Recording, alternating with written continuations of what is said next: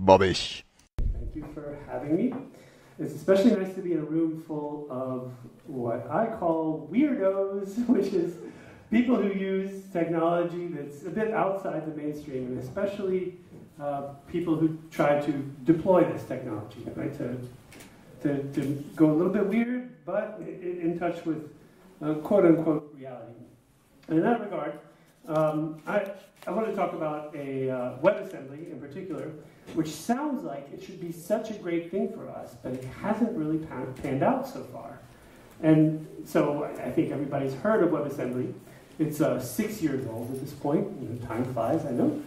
And uh, basically, it, you, you get the pitch and like, oh, it's just this exciting new universal compute platform. That sounds great. I want a universal compute platform, and I want an exciting new one too. And so, what's inside it? Okay, well, let's, let's look. To me, uh, the two interesting things of WebAssembly, uh, what it's composed of, that I, I think are, are, are novel when combined with success, are that it uh, contains a number of operations that map pretty well to low level CPU operations. So it's a low level um, machine language, assembly language, whatever you like to call it.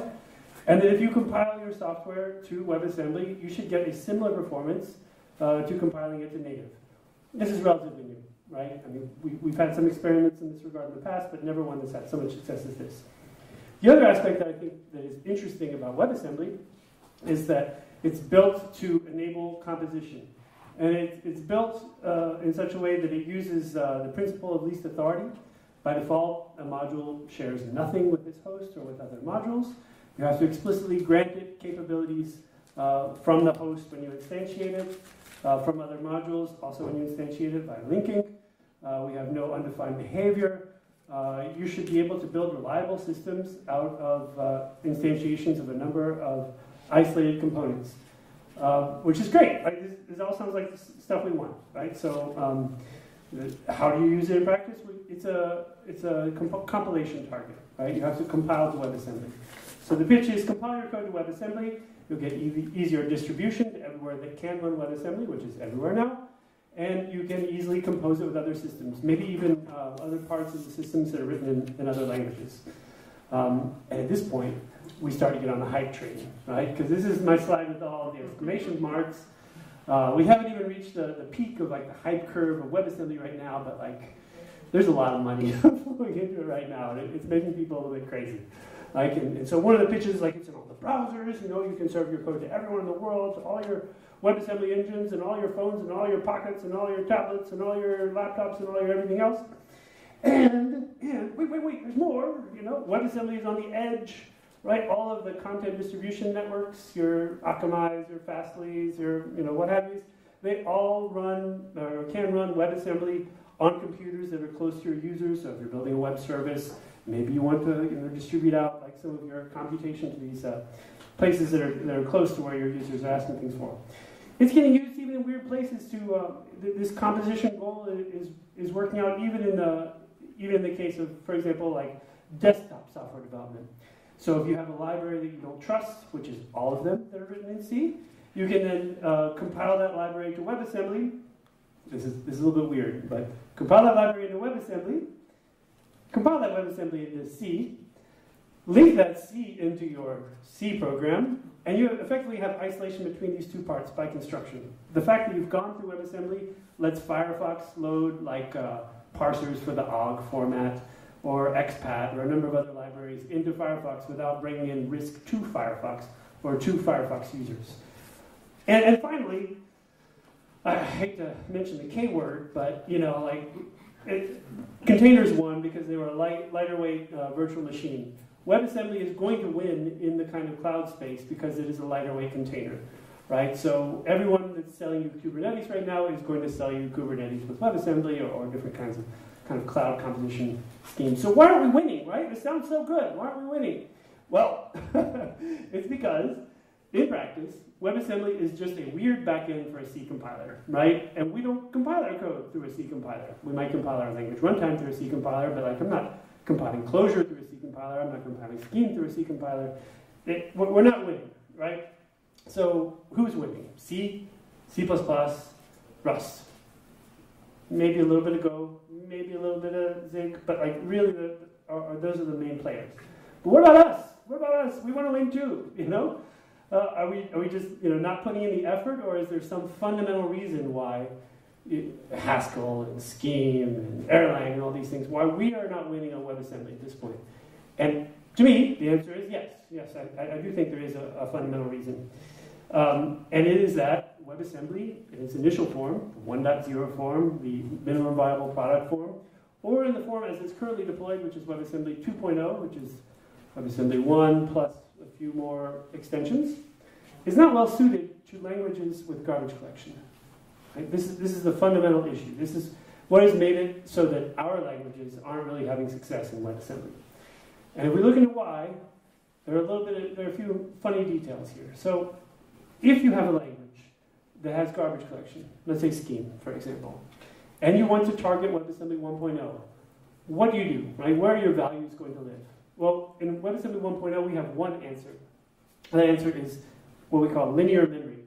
Uh, linear memory is just memory uh, with a simplified layout. It's just a buffer accessed by index.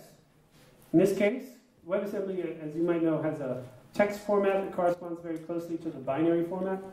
Um, so in this case, we're going to ask for 10 pages of memory. Each page of memory in WebAssembly is 64 kilobytes. That gives us 640, enough for anybody, as we all know. And we're going to uh, use it all for our garbage collected memory. We're going to have a heap pointer, uh, and we're just going to bump pointer allocate from beginning to end. Okay, that, that's how we're going to store our data. This is just like when you compile the native. Um, so, okay, all right. I'm not going to go into too many details for, for this function, but the, the, the basic thing is when you go to allocate uh, some number of bytes, okay, you're going to bump the heap pointer, but if you bump it past the end of memory, you're out of memory. At that point, you need the garbage collector. So that's what we have down here in bold. We're going to call our garbage collector and retry if we run out of memory. Well, what does this mean? It means we have to ship a garbage collector in the binary, right? When you compile your program, which does something that's not garbage collection, to WebAssembly, your compiler and toolchain has to include a garbage collector in that artifact that you deliver to your users. Already that's, that's annoying because it's size, but it's annoying for many other reasons. and, and, it's, and it's so annoying that it, it, it pushes the, the calculus from okay to, oh, oh no, no, I'm, I'm not going to do that, right? And so I'm going to go into the, to the reasons why. So first of all, you ship a garbage collector. Is it going to be a good garbage collector? No. No. because there are hundreds of person years in garbage collectors and browsers, and you are not going to do that for your, web, uh, your garbage collector in WebAssembly. Right? Your garbage collector is probably going to be stop the world. It's probably not going to be parallel. WebAssembly has some uh, multiprocessing capabilities, but it doesn't notably have the ability to create a thread on its own. It's probably not going to be concurrent. Um, okay, all right, I'm going to ship a bad GC. Okay. Uh, but we have a problem, and the problem is roots. So in garbage collection, your goal is to preserve the live objects and recycle the space for everything that's not live. A live object is an object that's referred to from the roots, or any object which is referred to from any other live object. It's a circular definition, right? And this set expands as you, as you trace the graph of objects. So what are the roots? We have global variables, okay? And we also have any local that's on an active stack frame. So you have 10 stack frames deep. If you did a backtrace, you'd see 10, 10 frames. In those frames, they're probably holding on to garbage collected values. Those are the roots, right? You start with these values and you, and you um, see what values they, they reference. We have no way to visit the stack in WebAssembly, unlike in a native compiler. And, and this leads to a lot of problems. Um, this is this is good in a way because it's an abstraction over the platform, and you don't have like stack smashing attacks.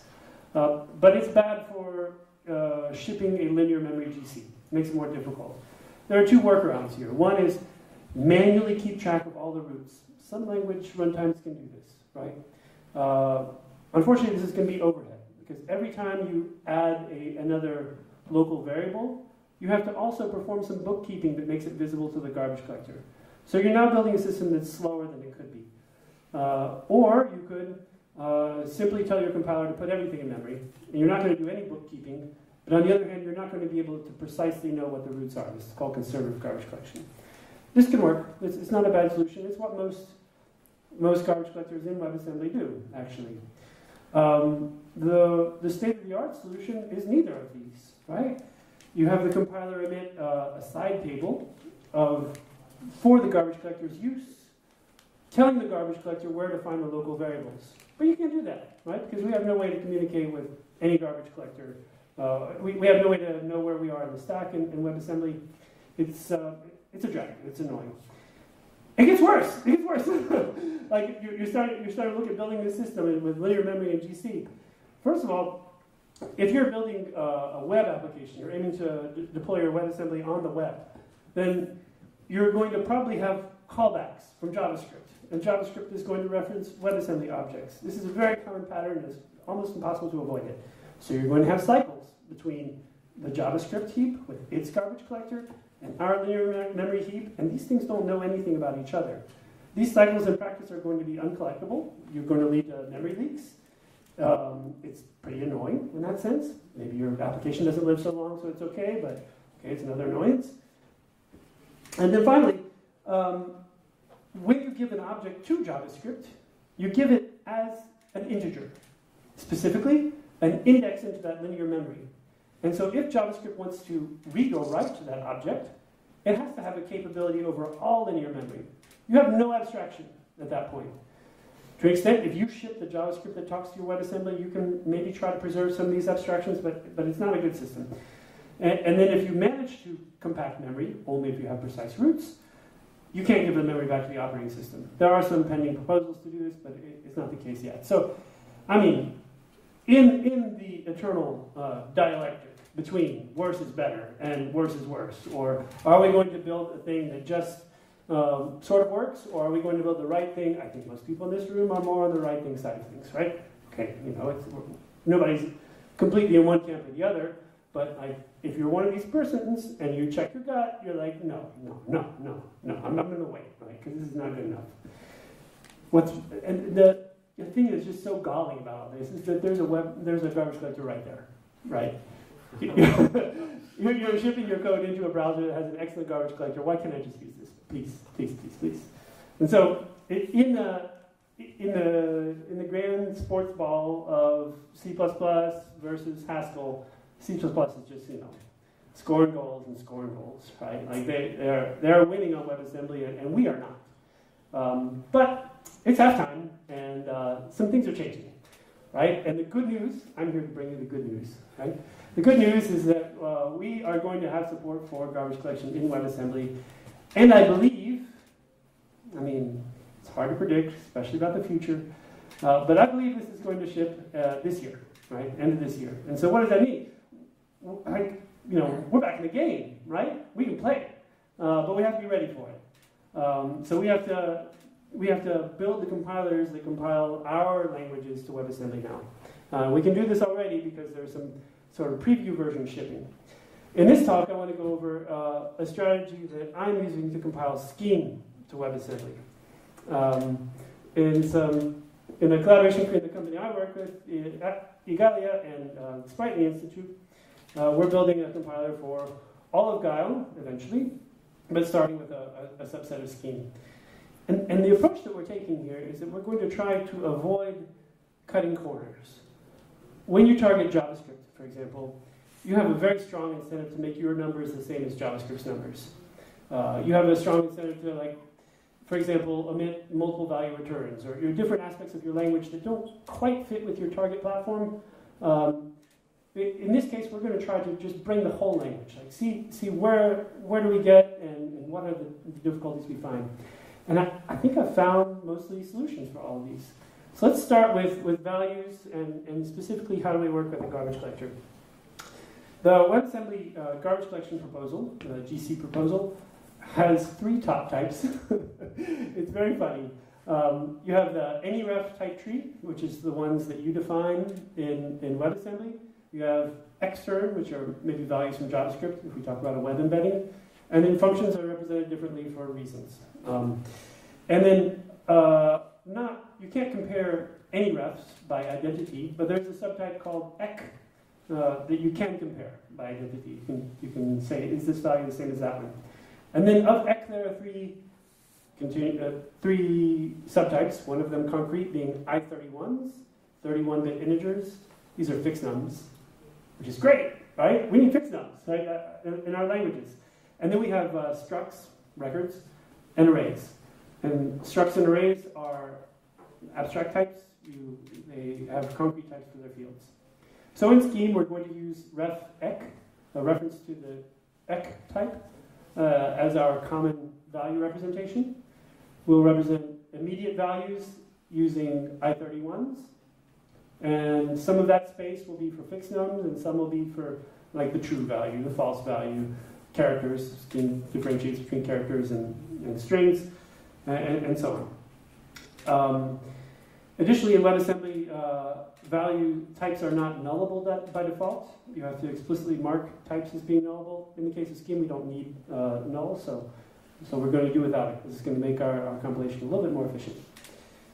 For heap objects, which is everything that's not a fixnum, small integer, or like false or something like that, then we're going to have a, a subtype of struct. And, and, concretely, we're going to have a, a common supertype for all of these. I didn't think this was going to be necessary before. Um, but the GC proposal has what's called structural type equivalence. Uh, the types that you define in your module uh, are compared by shape and not by name.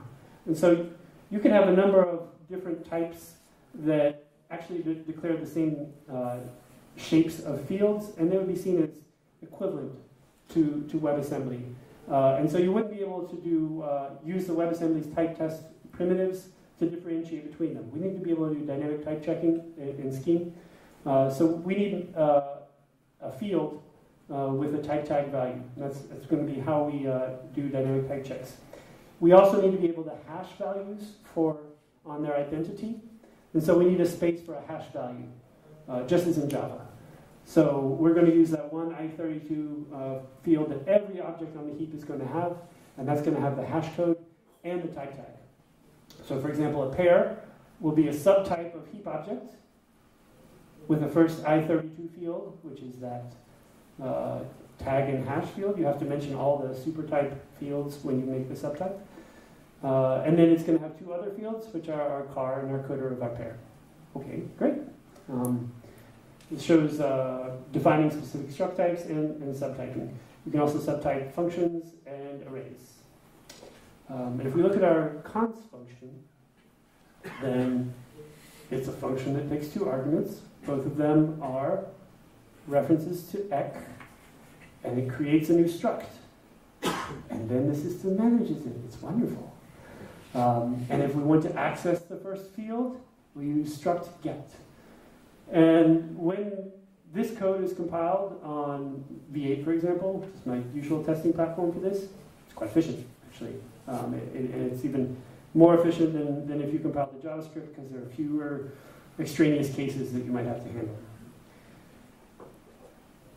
I put in bold here that this car function, which I put with a parent, uh, percent before the name, indicating it's kind of like internal or a system function.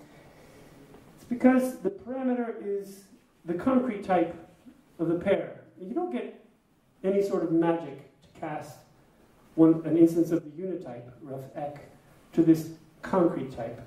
You need to do dynamic type checking, which is the horror that is in the next slide, right? I have two bits that are in bold. It's kind of hard to see on the slides here, but on the top we have a, a test to see if, if the object has the right shape. We use ref test against the shape pair. And if that doesn't work, then we, we branch out and we call it type error. And then we actually have to get the type field and mask off the low byte and check that against the expected type tag, in our case 1. If that doesn't equal, we, we branch off and call type error. Otherwise, we can, we can actually call the internal function or inline that internal function as you like. That's value representation, right? This is how we use uh, the WebAssembly proposal to define types and represent uh, the source languages types using uh, GC types. Uh, scheme is funny. It's got a, a number of, of, interesting challenges, and, and, one of them for WebAssembly also is varargs, variable number of arguments. So let's look into this. The issue is that functions are strongly typed in WebAssembly. If a function says it takes two arguments and they have the type i32 and f64, it can only be called uh, with those types of arguments. Whereas in, in Scheme, not only uh, do we call functions with values of any type, uh, we can call them with any number of values. And that might raise a runtime error if you're calling a function with the wrong number of values. But some functions can accept multiple number of values. And in, in Guile, for example, we use this facility for parsing out keyword arguments or optional arguments and things like this. So how are we going to use uh, what WebAssembly gives us, which is strongly typed functions, to represent functions that can take a variable number of arguments? And the solution is um, a little bit gnarly, but it's a local transform. Uh, it doesn't, it's not really a whole program transform. We effectively do what the, for example, the x86-64 calling convention is, in which you allocate some number of registers to the first n parameters, and then otherwise you require your uh, parameters to be passed in memory. And when you call a function, you pass the number of parameters that you're giving it. And given that number of parameters, that function will know A, is it the right number of parameters? And B, where do I find my values? Like I, I will find them in, if I'm passed with uh, five parameters, I will find them in arg0, arg1, arg2, arg3, and then one of them will be in memory, right? And the, the callee would then be responsible for loading these values into its locals, which will get properly register allocated, and then uh, continuing uh, like that. So our, our uniform function type is going to take one parameter, which is going to be the, the number of arguments that we get.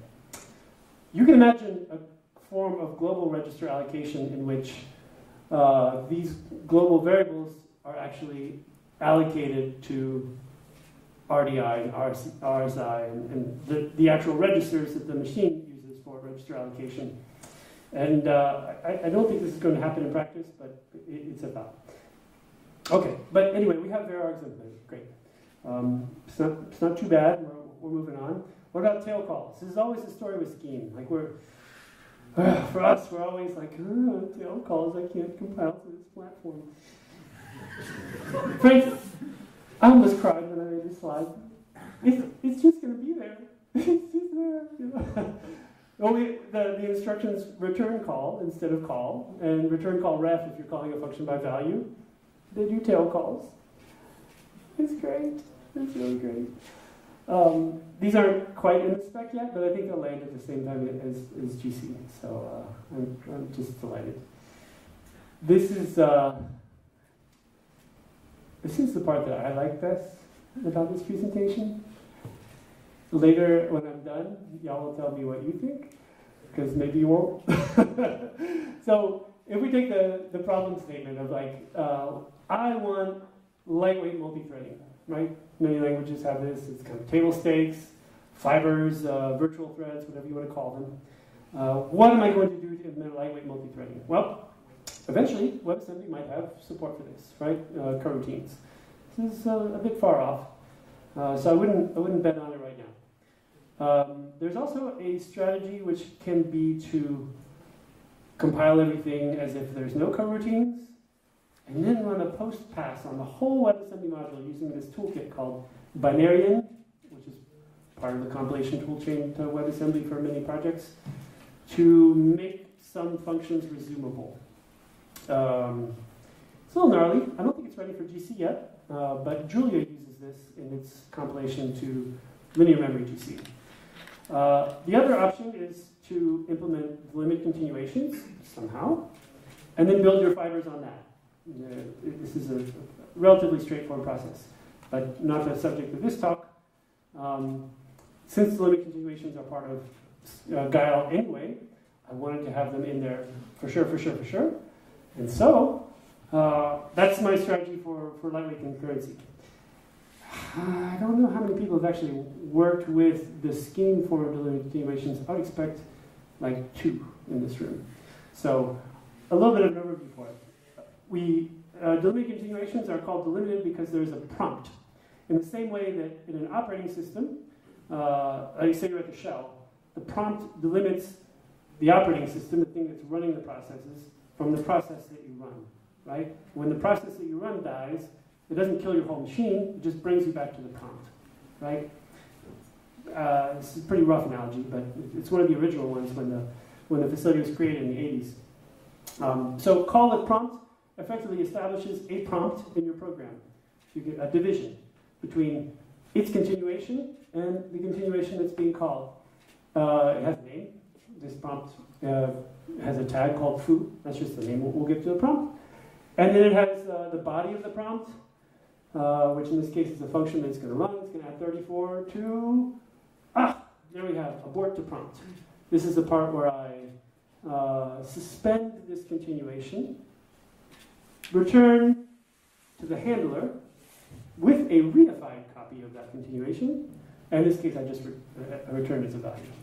And so if I um, run k, which is this captured continuation, and I pass it an argument, it's going to be as if that abort to prompt returned with that argument. Um, that if you consider the, the function of no arguments, lambda plus 34 hole, right? The, the k is that hole, effectively. Um, right. It, it, it's a function which, when run, will reinstate that continuation and put the value in the hole and then return. Um, there's a lot more to say about this stuff, but I'm going to just uh, go on to, to discuss how, how this works. So, in, in practice, there are a few ways in delimited continuations, but the way I like to do it is as a stack slice. Logically speaking, you have your stack. Let's say it's growing down, right? You're, you're, you're calling, you're calling, you're calling, your function goes down, oh, prompt. Okay. Now you're inside your prompt, oh, abort. What is the continuation? It's this stack slice between the prompt and the abort, reified as. And to reinstate it, you compose it with the current continuation wherever you are. You, if you call one of these reified continuations, it splats back on that stack, composing it with the current continuation, and restarts it with whatever value you pass into it. That's, this is my uh, intuition for what a delimited continuation actually is. And so to implement this on WebAssembly, uh, what I'm doing in Scheme is that I'm running a transformation that turns, this is, this is a little weird. It's, it's called a continuation passing transformation, a particular vari variant of one, that um, turns all non-tail calls, all calls that you would need to return to, um, into tail calls. And it does so by, when you get to one of these calls, the compiler knows what variables are going to be needed when it returns, and so the compiler will push those values on an explicit stack. And then it will tail call. Oh, oh, and it will also push where to return onto another stack. And then it tail calls the, the, the function you're calling. And when that function uh, returns, uh, well, I think I have this in the next slide actually. So before I call, I push the live out variables onto a stack. Uh, I push the return continuation on a stack, and I tail call the callee. When that callee returns, it pops the continuation from the stack, and then tail calls it. And that return point is then responsible for uh, taking those values that I pushed onto the stack and pulling them back into local variables. Um, what does this give you? It gives you a reified stack that you can slice, which is exactly what you need to implement the continuations. Uh, calling a prompt just captures the current level of the stacks, and aborting to a prompt uh, slurps out those values into some heap object, uh, and then tail calls whatever the prompt's continuation was. And you never have this problem of like needing to jump up and down of, of the control stack because all of your all your calls are tail calls. It, it's a it's a it's a little deep. I yeah, like I say, my favorite part, but uh, it, it's, a, it's a little detailed. Right. Um, the cool thing is, is that with this arrangement of uh, delimit continuations, we don't need to wait on anything else. We can ship delimit continuations now, and we don't need to wait on like the effect handler's proposal. We can have effect handlers now, and we don't need to, to wait on, on, on anything else.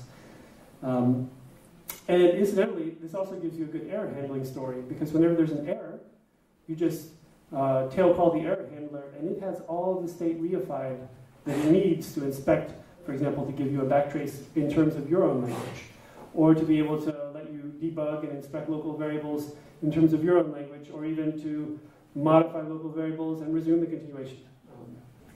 Right. So, we've done the, the first four. We've done values, we've done uh, varargs, tail calls, limit iterations. Also, Scheme has this, um, although all values are the same type in the sense of, of Bob Harper's unitype, um, we do have different kinds of values, right? We have exact integers, we have inexact reals, we have complex numbers and fractions and, and all kinds of crazy things. Um, when you run on the web, the nice thing is that, is that in the same way that you have a garbage collector that's, that's just right there at your reach, right there at your disposal, you also have a, a good implementation of um, arbitrary precision integers, which is uh, BigInt. So when we need to reach for the general case of where, how do we represent like a big integer, we don't need to uh, just rely on it fitting into a, a, floating point number. We can use a proper BigInt uh, value, and then we can use the, the built-in operations on these BigInts, which are also going to be efficient. The result is that you can ship a system with support for all kinds of different numbers, and, and, and you don't have to have it. You don't have to have such a big uh, uh binary size for your module you're shipping. Of course, for small numbers, we're going to take advantage of the I31 uh, fixnums, or I31 immediates, a, a, subspace of which we're going to reserve for fixnums. And, for floating point numbers, we, we also have to, unfortunately, make them, in the general case, to be heap objects, unless the compiler can, can unbox them for whatever reason. If you are compiling to a non-web target, though, uh, you obviously can't rely on BigInt. But since the way that WebAssembly modules compose with each other and with host facilities is actually the same, uh, you can implement that BigInt functionality via another WebAssembly module. So if you're running your code on like Fastly's edge compute platform, then you compose your, um, your, your, Scheme module uh, with the module providing effectively BigInt services, which might be compiled from like uh, GMP or mini GMP or something like this. right. And that, that pretty much covers it. You know, like when I, when I got to this point that I was, I, I realized that we could do everything, I, I was like, oh, it's go time. It's go time. we are going to get uh, scheme on the web platform, and I'm happy to, to be able to, to work on this right now. These aren't the only uh, considerations if you're targeting WebAssembly, of course. Uh, it, it's a weird machine, uh, and the solutions are weird. Um, for my case, uh, for debugging, I'm going to rely mostly on, on since schemes tend to be self-hosted in important ways, I'm going to continue to rely on the self-hosted uh, debugging facilities to inspect these linear continuations. Um, but the hosts also have support for Dwarf, uh, which you embed in a separate section of your binary or perhaps uh, fetch it uh, asynchronously to complement your binary with external debugging symbols. If you need to um, identify like where, where, where you are in a bit of code. Um, it's, it's limited. Uh, Dwarf wasn't made for WebAssembly. Dwarf was made for machines with fixed numbers of registers, for example, not an infinite number of locals, but there, there it is. Um, for, for strings, I, am partial to using the strings from JavaScript as well. Um, JavaScript strings are a little weird also, but uh, you, you can represent all, all values there. They're a particularly good match if you're compiling JVM languages or, or CLR languages, uh, languages that were defined in the age of UTF-16. Um, this proposal is a little, there, there is a proposal which is in Chrome now, uh, which I've worked on. Um, it's a little bit less sure. So I'm not going to say like definitely use uh, stringref, even though I, I love it. Uh, when it comes to interoperation with JavaScript, the weird thing about this is that when you pass a, a value to JavaScript, uh, it's not an index into linear memory. It is um, an opaque capability, if you will you can do nothing with it. this, is, uh, this is the state of, uh, uh, of the compromise between JavaScript and WebAssembly. To, to be able to access anything on this object, you have to uh, call in to the WebAssembly module itself, which would then be able to destructure it or assign values to it or, or what have you. So your module actually needs to export a few accessors, and then in JavaScript, if you were going to have a nice interface, then you would need to uh, wrap this object with some JavaScript wrapper. Um, da, da, da. And just uh, a, a, final couple nerdy points. For some languages, it's important to be able to generate code at runtime. And in WebAssembly, there will probably be a proposal to be able to do this at some point. It's not there yet. What you can do now is you can uh, actually generate bytes for a new WebAssembly module if you need to generate uh, JIT code, and then instantiate that module in such a way that it shares state with your, your host. It, there are a lot of details here, and I have a, I have a blog post on this if, if you are interested. Finally, there is a WebAssembly to C translator, WASM to C. It doesn't work with GC yet, but it could. And what this would give you for a language that uh, compiles to WebAssembly is ahead of time compilation to any CPU. So you don't need to build your RISC-V backend in a way. You can compile your code to WebAssembly and then use one of these ahead of time WASM to C or WASM to native compilers to produce a native standalone binary uh, for, for any platform, uh, which is pretty tempting. Um, and so, with the GC proposal, I think that, um, like I say, we're, we're in halftime, right? C++ has scored a bunch of goals, but I think we're in a good position to equalize in the second half. It's simply a, a small ma matter of programming to build these uh, compilers and runtimes and such, but, but I think the time is now. If you'd like to follow along with, uh, with the scheme work, uh, it's still pretty early days, uh, but there's a GitHub repository with where I've been experimenting. Um, and otherwise, uh, it's, been a, it's been a delight, and I'd be happy to take any questions.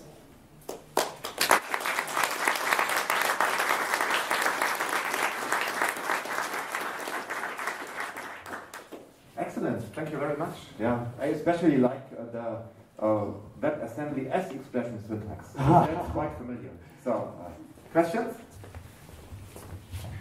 Uh, last time I checked, the uh, garbage collection MVP in WebAssembly still doesn't support uh, weak pointers and finalizers. I'm not sure if Scheme supports these kind of language features, so how are you going to be uh, implementing those? Very good question. Um, I think the consensus right now is that uh, this is a host concern. And so to implement uh, weak pointers, you would call out to uh, JavaScript and use weak maps, right, which is uh, ephemerons and actually ephemeron tables. It's a pretty good facility. Um, and on an edge platform, they would need to implement it in some other way. Similarly, for finalizers, there's a JavaScript uh, finalization that's out there in all the browsers, and so you would call out and, and use JavaScript. It's not the kind of finalizer that can resuscitate objects, uh, for better or for worse. So it's really post-mortem finalization. That is a sense in which you, you, you do have to truncate language to platform if, if, that's an important thing for, for your language. Yeah. Follow up? uh, another question is that uh, you mentioned that if you ship your own uh, garbage collector via linear memory, then you have to problem of cycles between the two heaps. But uh, if you are shipping your own garbage collector, then your own garbage collector can know when the object is going to be collected on the linear memory. And on the other side, on the JavaScript heap, you have uh, things like finalizer registry. So you can also have some hooks to uh, fire when a Java, JavaScript object is garbage collected. So I'm sure uh, these two facilities will allow some kind of circle breaking uh, between the two. That, that's, a, that's a good point. Actually, there, there's one way that you can break cycles, which is for any link in the cycle to be weak. In that case, it works. It's tough to uh, ensure this by construction, but finalizers uh, alone won't do this because the, um, the especially the, the JavaScript, the WebAssembly to JavaScript link is strong generally. Well, no, that, that one can be uh, seen by the GC in linear memory. Okay. The WebAssembly to JavaScript link is usually strong, and similarly, the JavaScript to WebAssembly link is, is often strong as well. Um, this is like a combination of ref counting and tracing. It, it, it, they really can't do the cycle.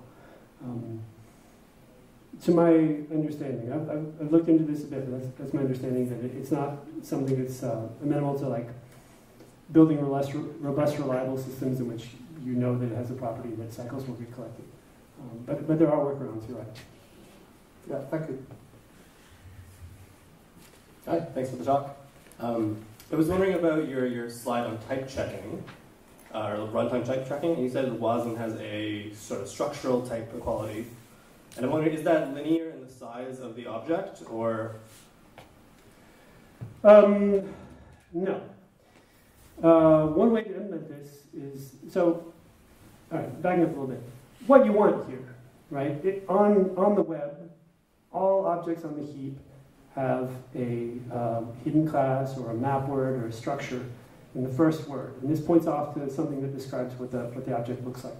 It's in all the engines, and each object of a different shape has a different map word. And so, if you're going to compare objects that they are the same, uh, exactly the same shape, uh, for example, for final uh, types, types and subtypes, then you should be able to just compare those map words. This is what you want. Uh, WebAssembly doesn't have this right now. Um, that is nominal typing or runtime typing. Uh, and so what instead has is structural typing. Okay.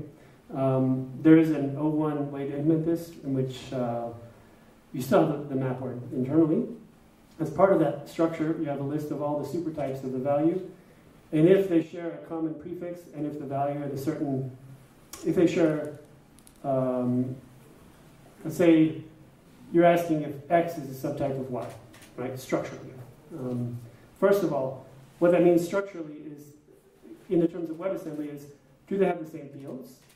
Um, the first number of fields, and is one marked as a, as a subtype of the other, right? So, you, so you're really checking like a linear subtyping hierarchy, and, that's something you can do with an O1 operation. I'm not explaining myself very well, but it's not a linear check to do that. That's perfect. That's all I want. Thanks. Yeah.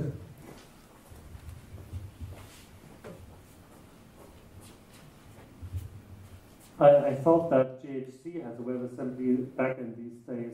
Are they winning? huh? Are they winning though? I, I don't know.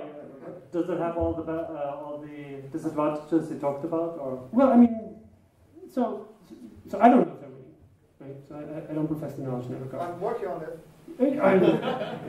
Are you working on winning? I hope so. Yeah, now is the time. But I would suspect uh, that it is uh, slower than it could be because you can't implement GC over linear memory as fast as uh, a system with the host garbage collector. Rough approximation. And, and, I would suspect also that the binary size of these uh, compiled artifacts is larger than you would want. And I would also suspect that interoperability with the host, in particular JavaScript, is suboptimal.